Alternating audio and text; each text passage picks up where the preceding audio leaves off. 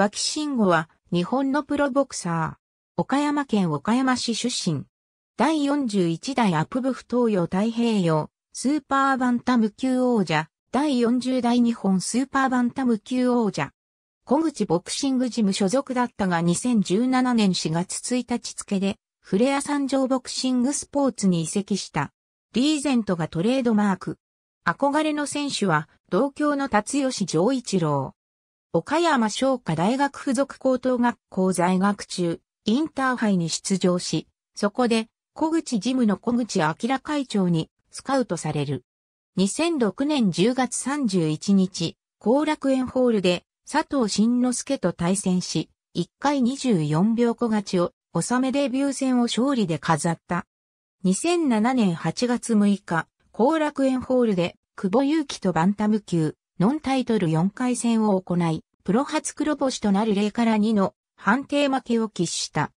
2007年12月24日、新宿フェイスで宮本ひかちとバンタム級、ノンタイトル4回戦を行い、0から1の判定で引き分けた。脇はこの試合がプロ初の引き分けとなった。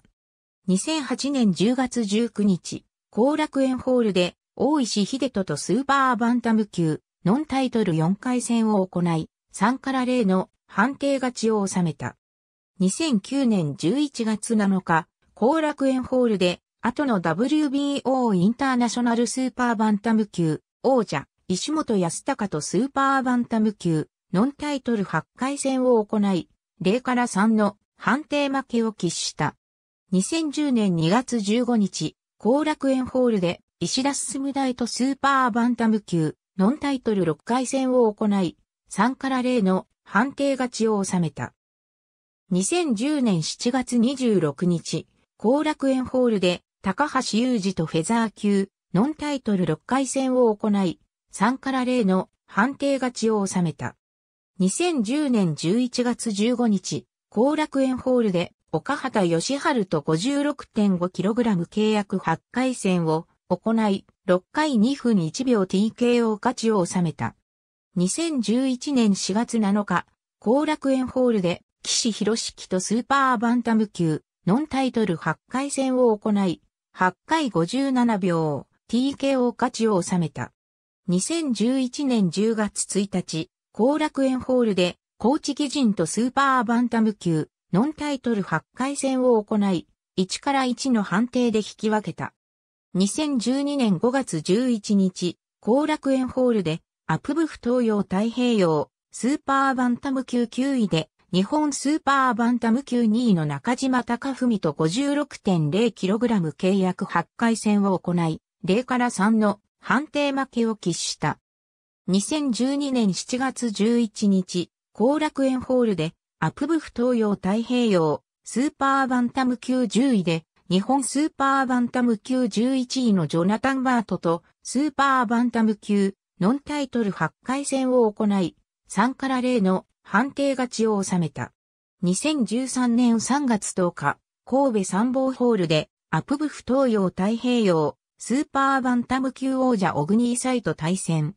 試合は2回にダウンを奪い、10回終了間際に連打を浴びせ、この回のインターバルで小国陣営が危険を申し出たため試合がストップ。戦前は小国が優位と予想されていたが、王座ダッシュに成功した。2013年6月10日、後楽園ホールで WBA 世界スーパーバンタム級5位の菊池瑛太と対戦し、9回2分24秒 TKO 勝ちを収めアップブフ王座の初防衛に成功した。2013年10月14日、後楽園ホールでOPBF 東洋太平洋、スーパーバンタム級1位のジュンリエル・ラモナルと指名試合を行い、3回2分12秒、TKO 勝ちを収め OPBF 王座の2度目の防衛に成功した。2014年2月10日、後楽園ホールで WBC 世界スーパーフライ級ユース王者で、 OPBF 東洋太平洋、スーパーバンタム級12位のジョビー勝又と対戦し、2回1分14秒 KO 勝ちを収め3度目の防衛に成功した。2014年7月21日、岡山武道館で韓国スーパーバンタム級王者でアプブフ東洋太平洋スーパーバンタム級1位のリジェイソンと対戦し、10回24秒、TKO 勝ちを収めアプブフ王座の4度目の防衛に成功した。2014年10月28日、同年11月22日に、イギリスで WBA 世界スーパーバンタム級正規王者、スコット・クイックとの対戦が決まるが、体調不良で欠場を決めた。2014年12月8日、同年12月31日に WBA WBO 世界スーパーバンタム級スーパー王者ギレルモ・リゴンドーとの対戦が和議本人も了承して一度は内定するが、フジテレビと TBS の和議争奪戦や小口会長とのコミュニケーション不足から脇は独断でリゴンドー戦を回避。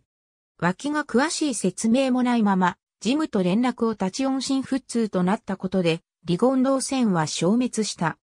その後、リゴンドー戦のプロモーターである競泳ジムの金平慶一郎会長が動いて、アップブフ東洋太平洋フェザー級王者である、天笠直が、リゴンドーに挑戦することが急遽決まった。2015年2月27日、後楽園ホールで行われた、金平正樹17回期追悼記念工業でアプブフ、東洋太平洋、スーパーバンタム級10位のジミー・パイパと対戦し、初回2分59秒小勝ちを収めアプブフ王座の5度目の防衛に成功した。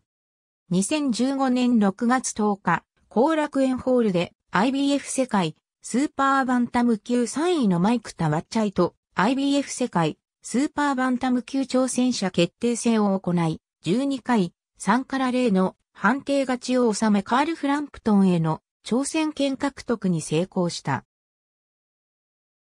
2016年7月20日、大阪府立体育会館で、井岡和人 VS キービンララの前座で、カール・フランプトンの王座返上に伴い、IBF 世界、スーパーバンタム級2位のジョナサン・グスマンと、IBF 世界、スーパーバンタム級王座決定戦を行ったが、2回に2度のダウンを奪われ、その後も3回と5回にダウンを喫するなど劣勢に追い込まれ、なんとか終盤まで粘りを見せたが11回2分16秒、レフェリーが試合を止めて、脇に TKO 負けが先せられ、王座獲得はならなかった。2017年7月19日、後楽園ホールで、元日本スーパーバンタム級暫定王者の瀬戸、三木人と8回戦を行い、5回2分31秒、TKO 勝ちを収め再起を果たした。2017年9月13日、大阪府立体育会館で WBA 世界バンタム級7位のパノムルンレック、ガイアンハーダオジムとスーパーバンタム級8回戦を行い、8回2分45秒小勝ちを収めた。2017年12月31日、大田区総合体育館でアドゥンレット斎藤オンジムとスーパーバンタム級8回戦を行い、3回1分40秒 TKO 勝ちを収めた。2018年4月17日、後楽園ホールで開催された弾丸211にてローマンカントとフェザー級8回戦を行い、4回2分50秒 TKO 勝ちを収めた。4月26日、日本スーパーバンタム級1位にランクインした。2018年7月27日、後楽園ホールで日本スーパーバンタム級王者、小賀野優作と日本バンタム級タイトルマッチを行い、10回35秒、TKO 勝ちを収め、日本王座初体感に成功した。2018年11月8日付で日本スーパーバンタム級王座を返上した。